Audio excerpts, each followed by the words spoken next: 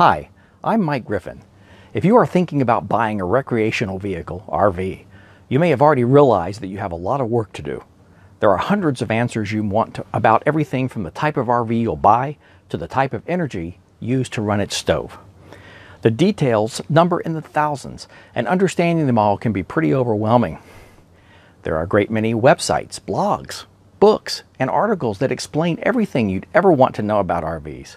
You can also attend seminars, go to RV shows, and spend time with seasoned RVers learning from their experiences.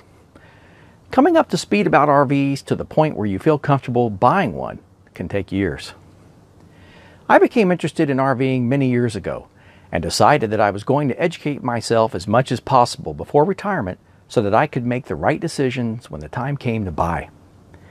After a decade of attending RV shows, reading many books and articles, subscribing and contributing to RV forums, and talking to serious longtime RVers, my wife and I finally chose the RV of our dreams. Now, a few years later, I think it'd be a good idea to share a lot of our RV research, condensed into a series of shorter videos that will answer a lot of the typical questions we see potential buyers ask on forums and in person at RV shows and rallies. We've rented RVs several times in the past and have owned our own for several years. So it wasn't too long too long ago that we were involved in the entire process of selecting and buying and accessorizing camping in our first RV.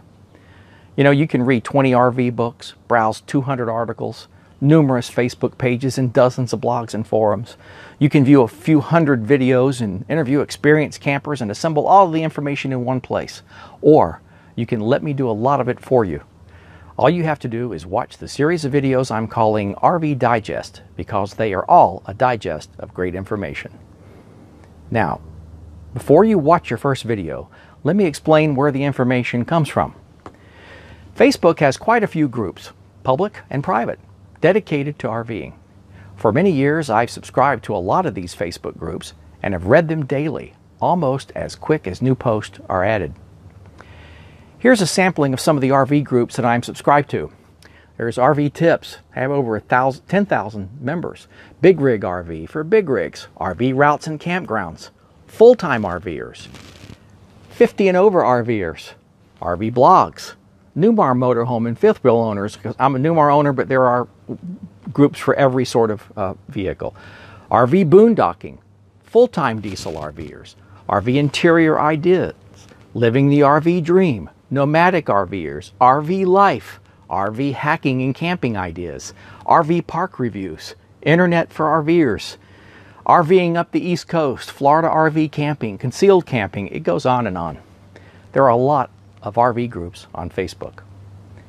Every day now, for the past six years or so, I've received notifications whenever anything was posted to any of these groups and have usually stopped to read what was said.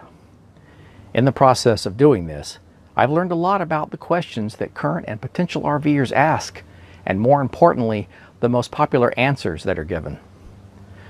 One of the best resources on the internet for RV information is irv2.com. By reading and participating in this forum for a couple of years, I've seen a lot of great suggestions and solutions to common issues and problems.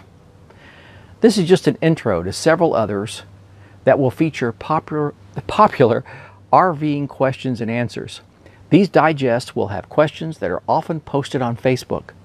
The answers will be my opinion as to what the most popular answers are to the questions. Even if I don't personally agree with a popular answer, I'll tell you what I think because it will allow you to hear a bit of our experience and why we might think otherwise. If you are so inclined, I, challenge you to post one of the questions yourself I think you'll be pleased to see that the consensus online will either match the answer in these videos exactly, or it'll be very close. The questions are grouped in separate videos so that you can better select an area of your immediate interest. To make it even easier, I'll try to overlay some of the pictures and links to some of the websites that will be mentioned.